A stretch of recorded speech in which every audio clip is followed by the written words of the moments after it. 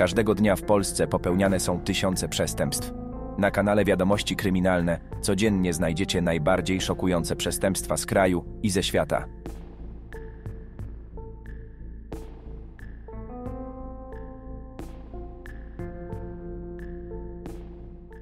Mężczyzna podczas spaceru w centrum miasta spuścił ze smyczy dwa duże psy, które zaatakowały policjantkę. Funkcjonariuszka, obawiając się dalszego ataku, wyciągnęła paralizator. To wzbudziło oburzenie właściciela psów, który zaczął nagrywać zdarzenie telefonem. Policjantka poinformowała mężczyznę, że psy powinny być na smyczy i w kagańcach. Mężczyzna zaprzeczył, twierdząc, że taki obowiązek nie istnieje. Zgodnie z artykułem 77 paragraf 1 kodeksu wykroczeń, kto nie zachowuje zwykłych lub nakazanych środków ostrożności przy trzymaniu zwierzęcia, podlega karze ograniczenia wolności, grzywnie do 1000 zł albo karze nagany.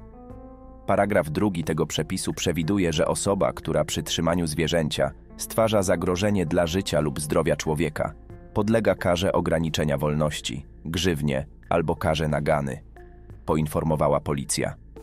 W przepisach tych nie ma wprost nakazu zakładania psu smyczy i kagańca, jednakże lokalne gminy lub miasta mogą wprowadzić takie przepisy. Na przykład w Warszawie na terenach przeznaczonych do wspólnego użytku psy powinny być wyprowadzane na smyczy, a agresywne zwierzęta lub mogące stanowić zagrożenie dla otoczenia, również w kagańcach i pod opieką osób zapewniających kontrolę nad nimi. W Gdańsku obowiązuje zasada wyprowadzania psów na smyczy lub w kagańcu. Psy ras uznawanych za agresywne oraz ich mieszańce muszą być prowadzone na smyczy i w kagańcu. Podobne przepisy obowiązują w Starogardzie Gdańskim. Na nagraniu słychać, że jednym z zarzutów wobec właściciela psów było niezachowanie ostrożności przy trzymaniu zwierzęcia, zgodnie z artykułem 77 kodeksu wykroczeń, gdzie właściciel zwierzęcia może zostać ukarany grzywną do 1000 zł albo karą ograniczenia wolności. Jeśli zachowanie psa stwarza niebezpieczeństwo dla życia lub zdrowia człowieka, grzywna może wynieść nawet 5000 zł. Innym aspektem tej sytuacji jest fakt, że mężczyzna wezwał policję, ponieważ zauważył bagaże bez opieki w miejscu publicznym. Ostatecznie właściciele bagaży się odnaleźli. Ktoś pan nie utrzymuje, teraz trzyma psy blisko siebie i dodatkowo nagrywa. Dokładnie. Gdzie się wszystko nagrywa, gdzie na koleżankę skoczył duży pies. Drugi wiem. zresztą też, Drugi dwa też. razy. Proszę mnie nie nagrywać, dobrze? Ja zarazem proszę tego nigdzie nie publikować. To Dokładnie. wiem. To dobrze, że pan wie. Jeżeli pan to opublikuje, no to spotkamy się w sądzie. Mamy kolejny artykuł do wniosku niezachowania ostrożności przy Dokładnie. zwierzęcia. Dokładnie tak. Yy, tak, a zarazem koleżanka wyciągnęła tasę w razie ataku psa na koleżankę.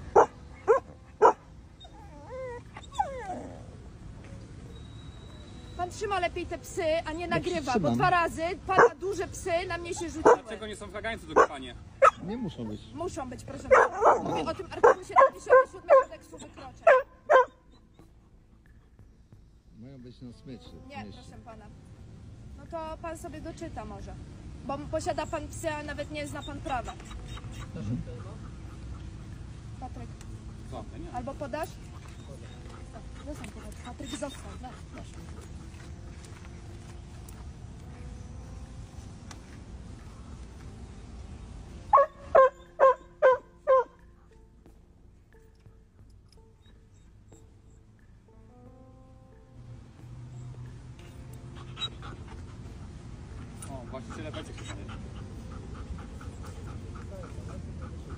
Widzi pan, znaleźli się właściciele walizek. Znaleźli się? No i nie widzi pan, może pan się odbyć. No próbowałem to zobaczyć, ale... No fantastycznie, a pan bierze. Nie Pan, wiem, ale wcześniej, wcześniej ich nie było widać, tak? Więc wie pan, no, trudno mieć do mnie pretensje, że się martwię, że coś wybuchnie, tak? Pan chyba za dużo filmów się no. Słucham? Pan nie upoważnia to, że pan nie trzyma prawidłowo psy. Dokładnie. To nie upoważnia pana do przerywania interwencji, do niewykonywania poleceń i do nietrzymania psów na smyczy. Dobrze. Wiem. Wiem, o, pan nagrywa, o, to przy okazji. Pana psy, Pokaż co się tutaj. No zrobiły. straszne. No. Wie pan,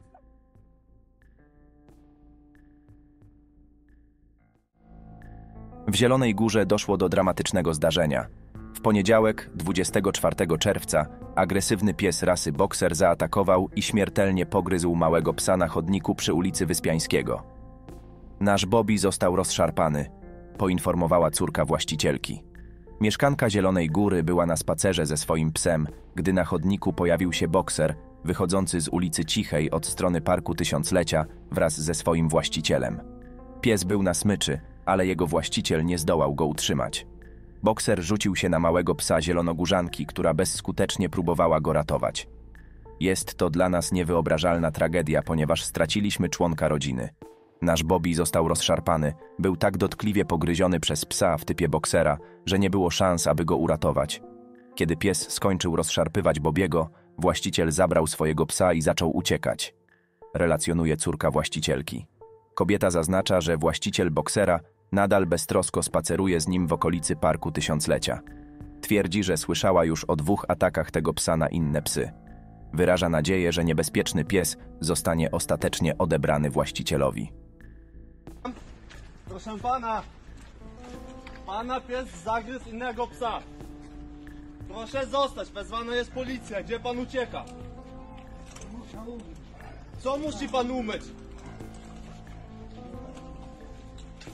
Proszę pana. Gdzie poszedł? Gdzie poszedł?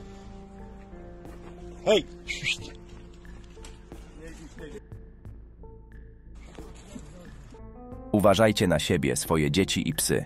Skoro bez powodu zaatakował raz, to niewykluczone, że zrobi to po raz drugi. Ostrzega mieszkanka Zielonej Góry. O zdarzeniu została powiadomiona zielonogórska policja. Funkcjonariusze wszczęli postępowanie na podstawie artykułu 77 kodeksu wykroczeń dotyczącego niezachowania ostrożności przy trzymaniu zwierzęcia. Grozi za to kara ograniczenia wolności, grzywna do 1000 zł lub kara nagany.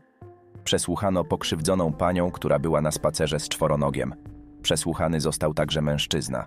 Usłyszał zarzut, przyznał się do winy i złożył wyjaśnienia. Wkrótce przesłuchamy także świadków zdarzenia. Sprawa znajdzie swój finał w sądzie.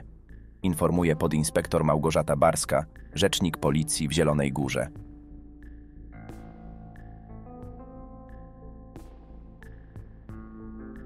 W Wielkopolsce doszło do koszmarnego wypadku, w wyniku którego zginął nastoletni Max. Policja poszukuje drugiego sprawcy śmierci chłopca. Tragiczne wydarzenie miało miejsce w Cielczy koło Jarocina, gdzie chłopak został potrącony na przejściu dla pieszych. Najpierw uderzył go samochód marki Seat, a następnie kolejne auto, którego kierowca uciekł z miejsca zdarzenia. Komendant wojewódzki policji wyznaczył nagrodę pieniężną za informacje prowadzące do zatrzymania tego kierowcy. Tragedia wydarzyła się 24 stycznia około godziny 7 rano. 17-letni Max wszedł na przejście dla pieszych na ulicy Poznańskiej, zmierzając w kierunku Jarocina. Nagle został potrącony przez kierowcę Seata Alhambra. Chłopak upadł na drugi pas jezdni, gdzie najechał na niego inny nieustalony pojazd. Ciało nastolatka zostało przeniesione wiele metrów, a służby znalazły je na wysokości ulicy Polnej. Pierwszy z kierowców, 54-letni mężczyzna, pozostał na miejscu i później usłyszał zarzut nieumyślnego spowodowania wypadku. Grozi mu kara od 6 miesięcy do 8 lat więzienia. Drugi kierowca zbiegł z miejsca zdarzenia. Policja apeluje o pomoc w znalezieniu drugiego sprawcy.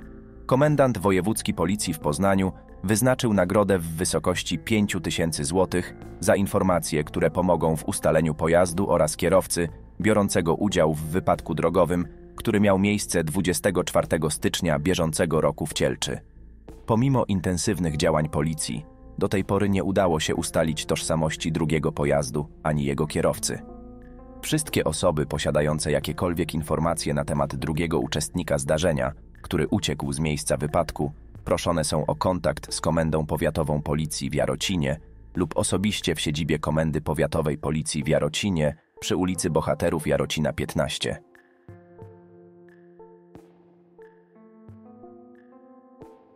Wspólne działania funkcjonariuszy z zarządów Opolu Centralnego Biura Śledczego Policji, Lubelskiego Urzędu Celno-Skarbowego w Białej Podlaskiej, Straży Granicznej z placówki w Lubaczowie oraz Wydziału Zabezpieczenia Działań Bieszczackiego Oddziału Straży Granicznej miały miejsce w województwie śląskim.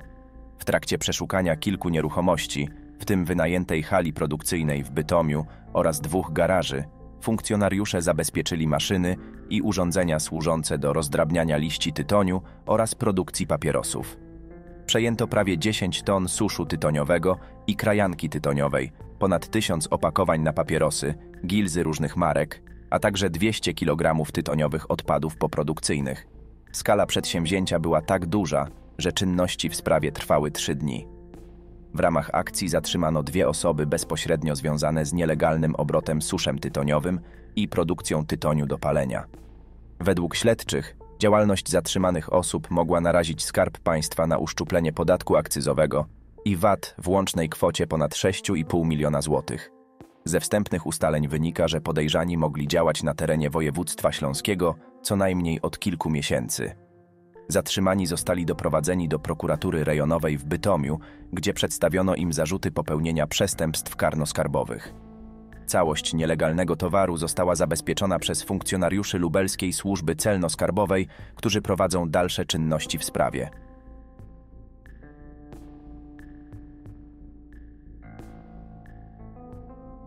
Policja z Rudy Śląskiej poszukiwała 14-letniej Mileny, która wyszła z domu w piątek wieczorem, zamierzając udać się do koleżanki.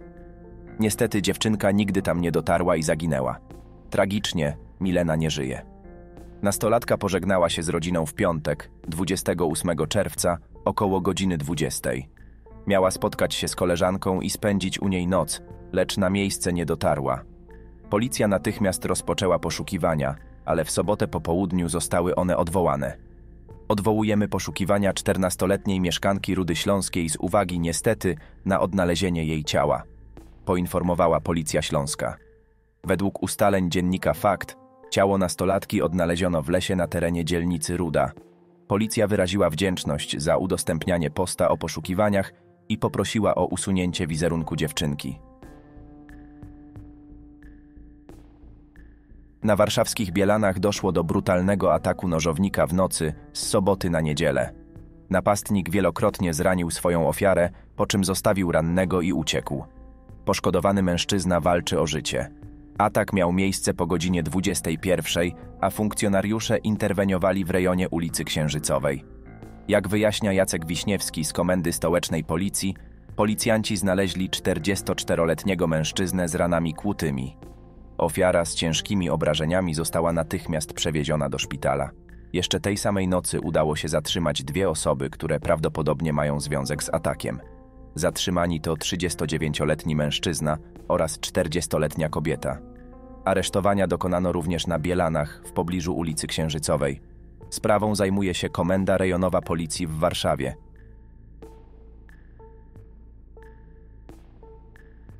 Kiedy na jednej z wrocławskich ulic Policjanci z Wydziału Ruchu Drogowego zauważyli za kierownicą osobowego Volkswagena znanego im z wcześniejszych interwencji mężczyznę, który nie posiadał uprawnień do kierowania, postanowili zatrzymać go do kontroli. Na widok oznakowanego radiowozu oraz mundurowych wysyłających wyraźne sygnały do zatrzymania się, kierowca wjechał na chodnik i gwałtownie przyspieszył. Mężczyzna uciekając pożyczonym od kolegi Volkswagenem, łamał kolejne przepisy ruchu drogowego poczynając od niestosowania się do sygnałów dawanych przez osobę uprawnioną do prowadzenia kontroli drogowej, jazdy wzdłuż pochodniku, niestosowania się do znaków i sygnałów drogowych, na stwarzaniu zagrożenia bezpieczeństwa w ruchu drogowym kończąc. Jego brawurowa jazda szybko dobiegła końca, gdyż tracąc panowanie nad kierowanym autem, uderzył w elewację stojącej nieopodal bramy wjazdowej na teren pobliskiego centrum handlowego. Tak pościg dobiegł końca, a policjanci po założeniu kajdanek nieodpowiedzialnemu mężczyźnie poznali inne, poza brakiem prawa jazdy powody, dla których zdecydował się na tak desperacki krok, a było ich wiele. W wyniku sprawdzenia w policyjnych bazach danych okazało się, że 43-latek w dalszym ciągu nie posiada uprawnienia do kierowania pojazdami. Auto, którym uciekał, nie było dopuszczone do ruchu i nie posiadało obowiązkowej polisy odpowiedzialności cywilnej. Na tym interwencja się nie zakończyła. Mężczyzna przyznał się policjantom, że tego samego dnia zażywał amfetaminę oraz heroinę, na co wskazał również pozytywny wynik przeprowadzonego przy użyciu narkotestu badania, a przy sobie miał woreczek z zapasem tego samego środka, którym raczył się tego dnia. W trakcie zatrzymania mundurowi dodatkowo znaleźli w aucie kierowanym przez 43-latka oraz przy jego 39-letniej pasażerce dokumenty tożsamości, karty bankomatowe, a także szereg innych dokumentów należących do różnych osób. Zatrzymany mężczyzna, po brawurowej, lecz nieudanej próbie ucieczki, trafił prosto do policyjnego aresztu. O jego dalszym losie zdecyduje sąd, a grozić mu może kara nawet do trzech lat pozbawienia wolności. Przed sądem stanie również jego 39-letnia pasażerka, której grozi kara dwóch lat więzienia. W całym tym zdarzeniu można mówić o jednej pozytywnej rzeczy: nikt w nim nie ucierpiał.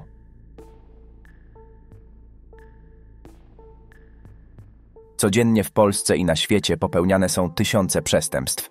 Jeśli chcesz być na bieżąco z wiadomościami kryminalnymi, zachęcamy do polubienia filmu oraz do subskrypcji kanału.